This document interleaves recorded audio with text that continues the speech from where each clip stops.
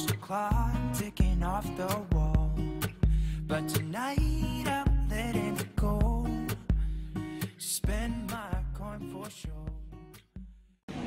So Lawrence and I are just at Manchester Airport. We are on our way to our honeymoon. We're going to Disney World for two weeks and then we're going to New York. So we're just heading to the V room now where we're going to wait. So we're just going to find somewhere to sit and then we're going to go and get some breakfast. Right, it's we're in the food room, eating our food, and we got our little presents. Very pretty. I'll show you the food room.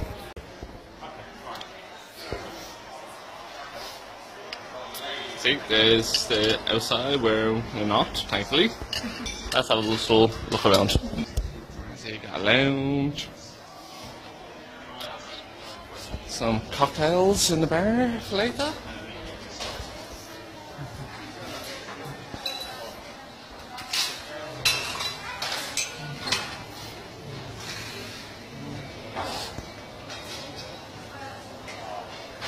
As you can see, all fairly comfy and fancy.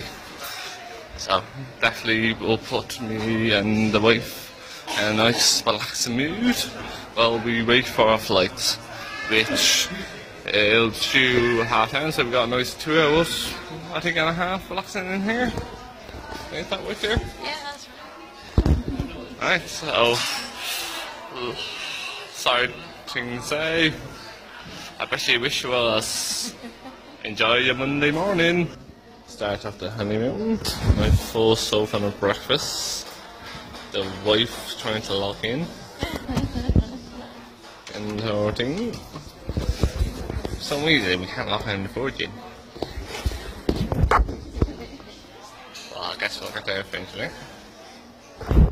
We have got a nice card waiting for us, so we got a little surprise on our way. You're feeling a bit lot better than this morning, ain't you? much better. Yes. Bad stomach. Very bad. Everything's okay now, so we're going to have some food and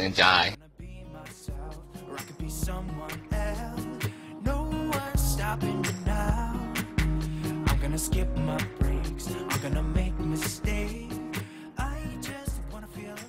So it's nearly time for our flight to board now, so I thought I'd just quickly show you the food that they have on offer and then give you a quick look around the V room.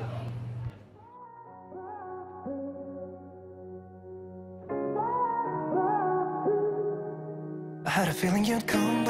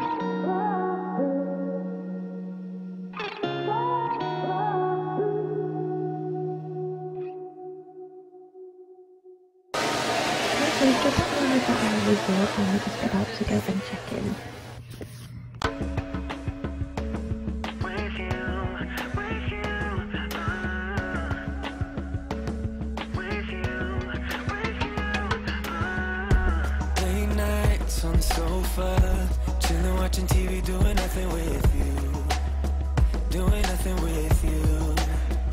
Yeah, I'm so thankful for everything that life has been putting me through. Cause now I get to be with you. So I thought I'd give you a quick room tour. We're staying in the Coronado Springs Resort, um, which is sort of like an Aztec sort of theme, like southwestern theme. So you get two queen size beds. Each bed has these big wooden headboards and these lights above the bed as well. On the bed we've got a Mickey head shaped towel and then we've got this bed runner which has got little hidden Mickeys on it which is really cute. We also have this little cushion with hidden Mickeys on it on there and then next to the bed we have this little bedside table with the phone on and over here we have the bathroom space. So it's got these two big wooden doors so you can like close off the bathroom if you want a bit of privacy. Then behind the doors you've got this big sink um, and a big mirror as well. So that's nice. Over here we've got some little toiletries. We've got body lotion shower gel shampoo and conditioner and also a little soap as well which is nice then if we go over here into the actual bathroom, we've just got the toilet and then we've also got uh, the bath and then over the bath there is a shower head there so you can have a nice shower. So on the right side of the sink we have this little area here where you can hang your clothes. Uh, opposite the bed we have this unit which has a coffee maker on. Then underneath there is a little fridge and it also has six drawers where you can keep your clothes. And on top there's a TV and next to that is this little desk with a chair. And above the desk is this little mirror. And next to that is two little stools where you can have a where you can sit down. And that's the end of the room tour. So we've just come to the Pepper Market which the food place resort I'm just going to get something quick to eat before we head out. So we've got some fast passes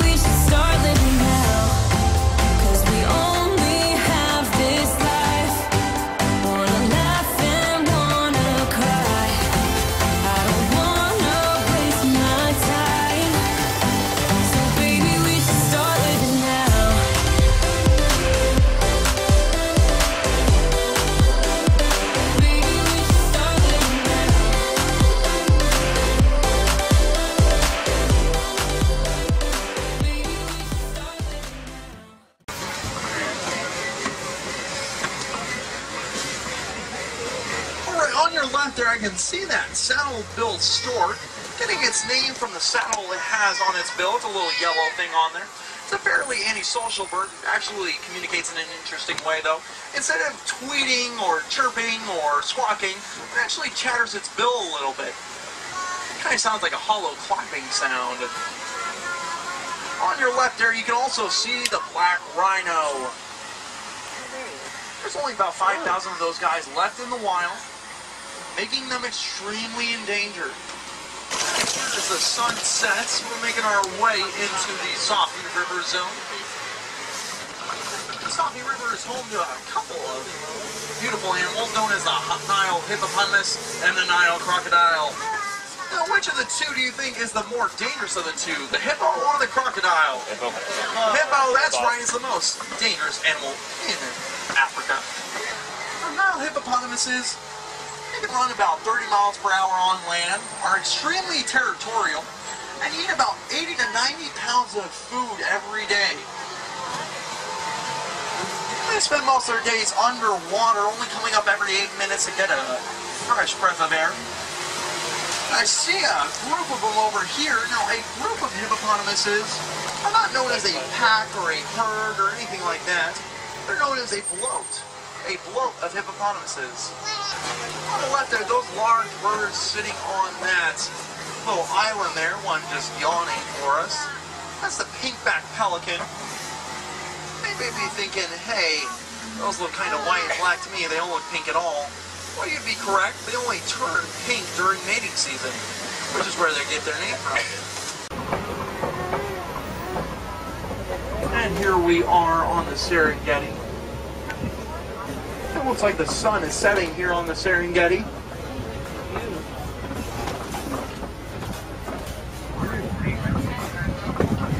Over on the right here, you're going to see some Ankole cattle. Ankole cattle are actually known also as Watusi cattle, named after the Watusi tribe that domesticated them many years ago. They're also known as the Egyptian longhorn, and you may be noticing how long those horns actually are. They're about three to four feet in length. They can be up to 20 inches in diameter, or not diameter, excuse me, circumference. They are hollow, so they're not heavy at all. They're actually vascular, meaning that they have blood that runs through them. They're actually used as a cooling unit. And these guys on the right here, these are Patterson's eland, the largest of the antelope in all of Africa. Now, both male and female have horns, which is incredibly rare for antelope. Yeah, I don't see the thinking, hanging How do you tell the two apart? Actually, you have a good spot there of how you can tell them apart. That large one right there, Ant that's mole. the male. That These other ones right here are all female. Looks like one's gonna cross the road here. Of course, here in Africa, animals do have the right of way. Coming up on your right, this large herd of animals as well is the wildebeest. Wildebeest actually comes from Afrikaans, which means wild beast. For the native Africans, they know them as something completely different. They're known as new, spelled G-N-U. It actually comes from the sound that they like to make. It sounds kind of like a domestic cow mooing. You may have noticed these kind of red rock formations here on the Serengeti. These are termite mounds made of dung, dirt, and clay, and even saliva. They're about as hard as rock, as cement, excuse me. Elephants like to use them and actually use them as back scratchers. These guys here on the right, these are water buck. They get their name from the way that they actually hang around watering holes. If you can kind of notice, they kind of have a shiny, sort of oily substance on their skin. They actually use that to make themselves waterproof. So when predators actually come around the watering holes, they can dive in. Predators can't get to them. And they get to hang around their habitat for a little bit longer. Over here on the left, ones. side giraffe. You can see a baby one all the way in the back there. These guys are the tallest land animal, reaching feet, uh, about 18 to 20 feet in length. Excuse me. An average newborn calf is six feet tall. And they get the name Maasai after the jagged, sort of broken pattern that they have on their pelt there. Actually, every two giraffes' pelts are no are not the same. Kind of like how you and I have a unique fingerprint or thumbprint. They have a very unique pattern on them. And on your left here, coming up, I see a herd of elephants. Elephants are very endangered.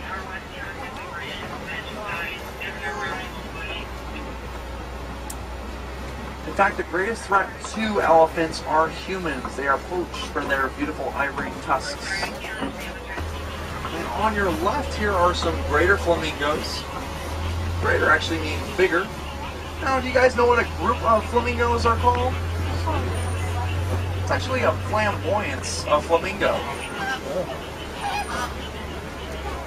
Why is pink of all the flamingo getting their light pink hue from their diet of brine shrimp? You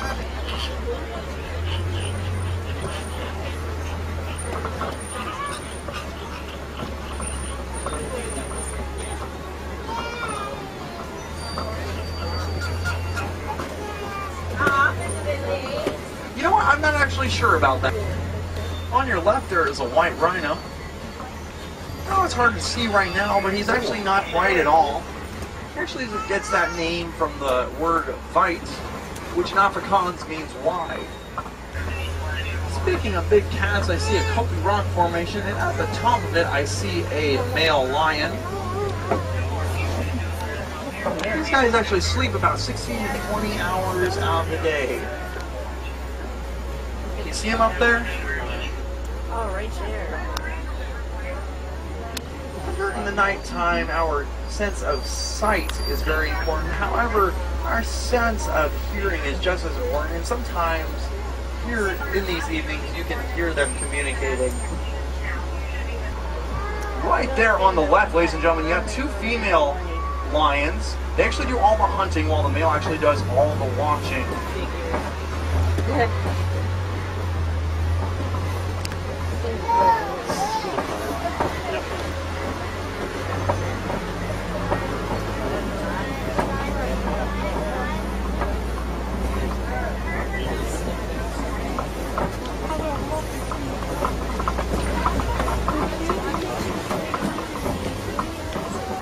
One of the grazing right here, actually.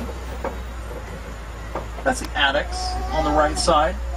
Now, would a lion kill one of those? No, absolutely not. Or the wild Hey guys, if you have any wilderness explorers on board, you were riding the Simba one today.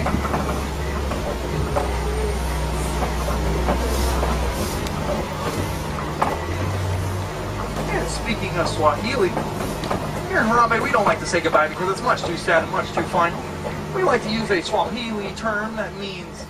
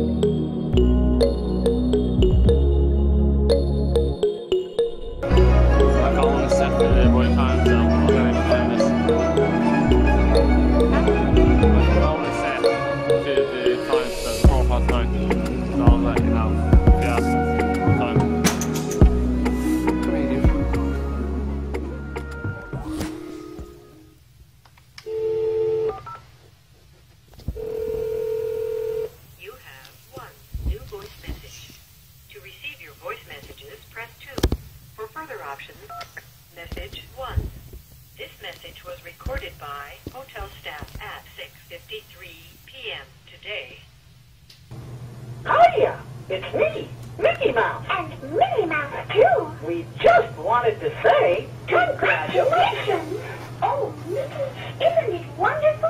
They're celebrating their new life together here with us. Oh, it's so romantic. It sure is, Minnie. so here's to both of you. And happily ever after.